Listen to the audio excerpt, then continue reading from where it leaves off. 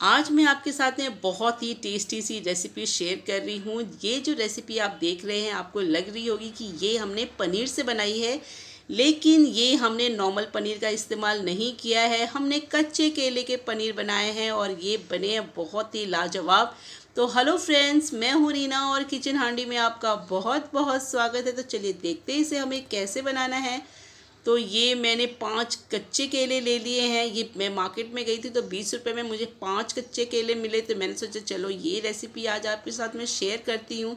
तो इसको हमने बढ़िया सा धो लिया है और फिर हम इसके जो छिलके हैं, इस तरीके से चाकू से निकाल देंगे।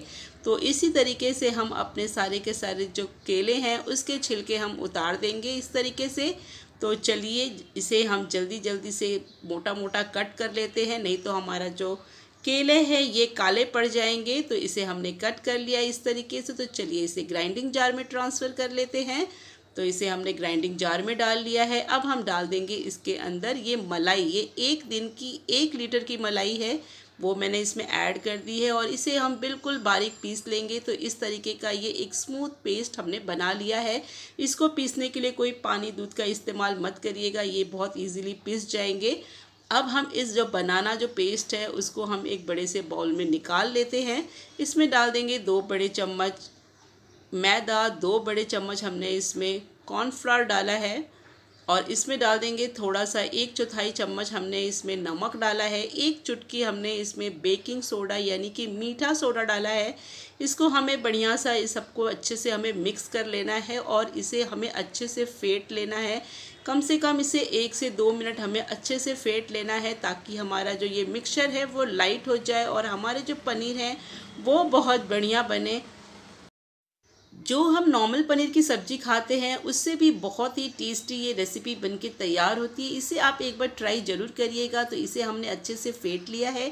तो चलिए कढ़ाई लेते हैं, उसमें हमने रख दिया है एक कटोरी, उसमें एक टमाटर, एक प्याज, एक इंच अदरक छः से सात हमने लहसुन की कलियाँ ली हैं, तीन मिर्ची ली हैं और सात से आठ हमने इसमें काजू लिए हैं। आधा ग्लास पानी डाल देते हैं कटोरी में और एक ग्लास पानी हमने नीचे कढ़ाई में डाला है। अब हम एक प्लेट लेंगे और उसमें हल्का सा तेल लगा करके पूरा अच्छे से इसे ग्रीस कर लेंगे। तो ये अच्छे से हमने इसे ग्रीस कर लिया है। अब हम इसमें जो केले का जो हमने मिक्सचर बना के रखा है, वो हम इसमें डाल देते हैं। अभी हमने अपने कढ़ाई को गैस पे नहीं रखा है, बस पहले ये नीचे हम इसे अच्छे से सेट कर लेंगे। तो इसे हम अच्छे से लेवल कर लेंगे। मिक्सर को कहीं मोटा पतला ना रहे, एक समान हम इसे फैला लेंगे इस तरीके से। इसे बहुत ज़्यादा मोटा मत रखिएगा, नहीं तो ये जो है जल्दी से पकेंगे नहीं और ये आधे कच्चे पक्के रह जाएँगे। तो चलिए अब हम इसे ढक लेते हैं और गैस पे चढ़ा देते हैं मीडियम फ्लेम पे 10 मिनट के लिए। तो मैंने इसे 12 मिनट के बाद चेक किया है। तो इसे आप देख सकते हैं, पक गया है, हमारे हाथ में नहीं चिपक रहा है तो चलिए चाकू से भी चेक कर लेते हैं।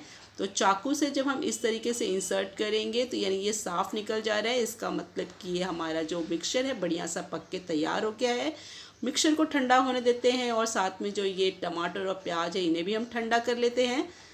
तो चलिए आपको मैं दिखाती हूँ, हमारे टमाटर जो हैं, वो बढ़िया से पक गए हैं, और इसके जो छिलके हैं, वो भी अलग हो चुके हैं। तो इन छिलकों को पहले हम निकाल लेंगे इस तरीके से। तो चलिए अब हम इसे कट कर लेते हैं। इसे हम मोटा मोटा कट कर लेंगे।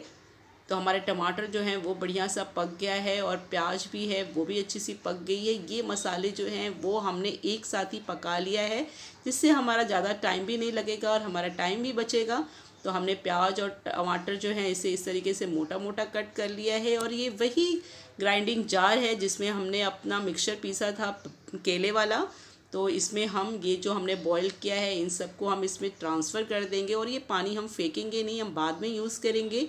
तो चलिए इसका हम बारीक पेस्ट बना लेते हैं। इस तरीके से अब एक कढ़ाई में दो बड़े चम्मच तेल डाल देंगे, साथ में डाल देंगे इसमें एक चौथाई छोटा चम्मच जीरा, पाँच से छः काली मिर्च और हम इसमें डाल देंगे एक इंच दालचीनी। दो हमने इसमें तेज पत्ते डाले हैं। एक चौथाई छोटा चम्मच हल्दी पाउडर, एक छोटा चम्मच हमने इसमें कश्मीरी लाल मिर्च पाउडर डाला है और इसे हम बिल्कुल लो फ्लेम पे हमें पका लेना है। अब हम इसमें प्याज और टमाटर का जो हमने पेस्ट बनाया है, वो हम इसमें डाल देते हैं और अच्छे से इसमें मिक्स कर लेते हैं। थोड़ा सा पेस्ट जो है, वो हमारे ग्राइंडिंग जार में लगा है तो थोड़ा सा पानी डाल के वो हम इसमें ऐड कर लेते हैं और इसमें अच्छे से हम इसे मिक्स कर लेते हैं। तो चलिए, अब हम इसमें डाल देते हैं कुछ मसाले ताकि इसका स्वाद जो है वो बहुत बढ़िया आए। तो हमने एक चौथाई छोटा चम्मच धनिया पाउडर, एक चौथाई छोटा चम्मच काली मिर्च पाउडर, एक चौथाई छोटा चम्मच गरम मसाला डाला है और एक बड़ा चम्मच कसूरी मेथी को इस तरीके से क्रश करके डालेंगे। थोड़ा सा हरा धनिया भी डाल करके इसमें हमने अच्छे से मिक्स कर लेना है इस तरीके से। अब हम इसे ढक करके थोड़ी देर पकाएँगे जब तक कि इसमें से ऑयल सेपरेट ना हो जाए। जब तक मसाला पक रहा है तो चलिए अपने केले के मिक्सचर को देख लेते हैं। तो केले का जो मिक्सचर है वो पूरी तरीके से ठंडा हो चुका है। और इसे चलिए अब हम अपने मन चाहे पीसेस में कट कर लेते हैं और कट करने से आपको लग रहा होगा कि ये बहुत ही अच्छा और बढ़िया सॉफ्ट बन के हमारा जो पनीर है वो तैयार हो चुका है। तो मैंने इसके छोटे छोटे पीसेस कट किए हैं। छोटे छोटे पीसेस में ये बहुत ही टेस्टी बनते हैं। वैसे आप अपने मनपसंद से आप इसे कट कर सकते हैं। तो चलिए मैं आपको उसको निकाल के दिखा रही हूँ कि ये कितने बढ़िया से सेट हुए हैं और बहुत ही अच्छे से बने हैं। तो आप देख सकते हैं कितना इजीली आराम से ये निकल जा रहे हैं और ये हमारा बहुत ही बढ़िया सेट होके तैयार हुआ है। बिल्कुल लग रहा है ना पनीर जैसा। और इसकी रेसिपी तो बहुत ही गजब है। तो चलिए मैं आपको इसको तोड़ के दिखाती हूँ। आप देख सकते हैं कितना सॉफ्ट पनीर बन के तैयार हुआ है। तो आप इस रेसिपी को ट्राई ज़रूर करिएगा।